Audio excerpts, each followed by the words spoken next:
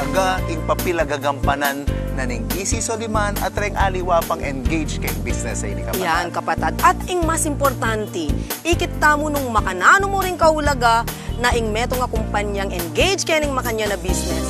At inyang the right equipment, net, the right protective gear for their workers. And the concern for its people. Ayan. And the concern for the environment as well. Diba, kapatid? Manyaman niya po yung kwentuhan na ini at pasalamatan niya po.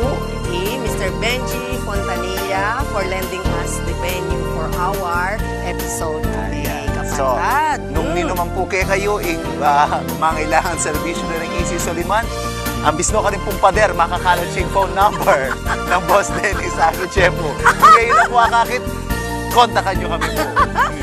and make your life easier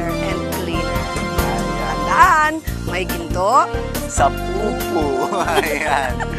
Okay, so, basta kwento ang kapampangan po na tunay namang makabaldugan na tutu, eh, nakainuno ka rin sisilip pa, manibatan mo yan kaya kalugulan yung imismawa kayo na. Ah, Mr. Rayo. Pwede mo keng personalan! Bye!